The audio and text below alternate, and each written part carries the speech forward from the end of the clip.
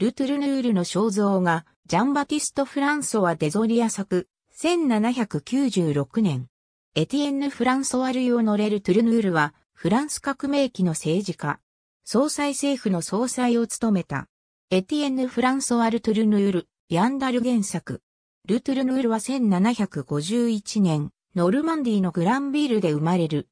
軍人であったが、1791年以降、立法議会の議員も務め、その後継の国民公会でも続投した。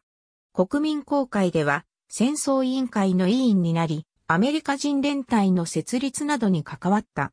1793年に行われた元フランス王ルイ16世の処遇を決める投票では死刑に賛成した。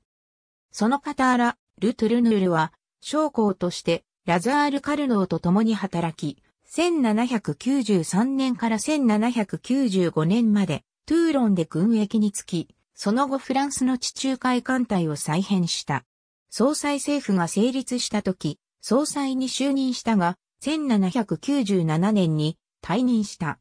後に、フリュクティドール18日のクーデターが起こった時、カルノーとの関係があだとなり、ルトゥルヌールは軍務から手を引くことを余儀なくされた。ブルメール18日のクーデターを経て成立した統領政府では第一統領のナポレオン・ボナパルトにより、ロワール・アトランティック県知事に任命された。フランス第一帝政が成立すると、代わりに、フランス会計検査委員長に任命された。